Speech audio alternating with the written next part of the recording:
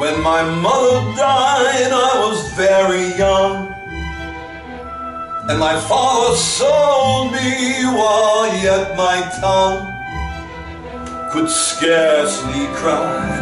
Weep, weep, weep, weep. And so your chimneys I sweep. And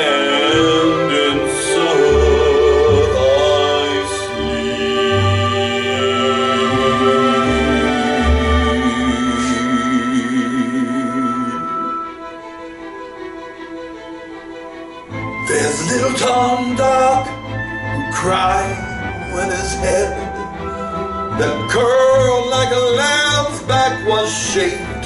So I said, Hush, Tom, never mind it, for when your head is bare, you know the soot, it can't spoil your white hair. And so Tom was quiet, and that very night. As Tom was sleeping, he had such a sight that thousands of sweepers,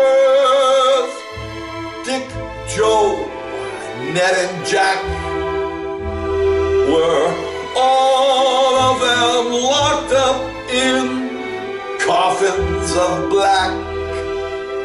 And by came an angel who had a bright key. And he opened the coffins and set them all free. And down the green plain leaping, and laughing, they run. And wash in a river shine in the sun. Then, naked and white, all their bags left behind, they rise upon the clouds, sport in the wind. And the angel told Tom if he'd be a good boy, he'd have God for his father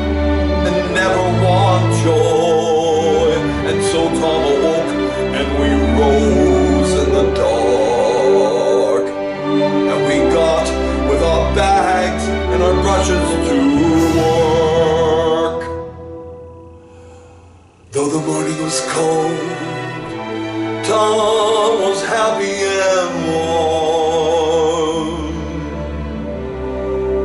So if all do their duty, they need not fear harm.